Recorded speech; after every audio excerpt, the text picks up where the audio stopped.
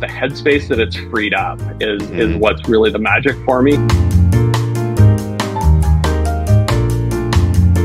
Really is it's very good at what it does, but it only does one thing. And I'm like, that's only a piece of how I manage my time. I don't want people to look and say, oh, you're only available on Wednesdays, but I also right. want to try to consolidate a lot of meetings into a Wednesday.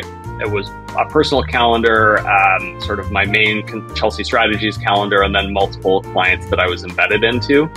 So it sounds like potentially a lot of meetings. A lot of meetings. I, I, like the the option to use a single tool for for sort of overall calendar management. I like one time can go identify these are the things that are most important that I want to make sure get prioritized in my day or my week. And I've also just started using the smart one on ones, uh, which is also really exciting. It feels like getting putting AI to work in a way that helps me be more efficient, but really lets me work smarter. If you were to think about like hours of time saved or maybe time gotten back for productive work, would you would you dare to put a, a number on it?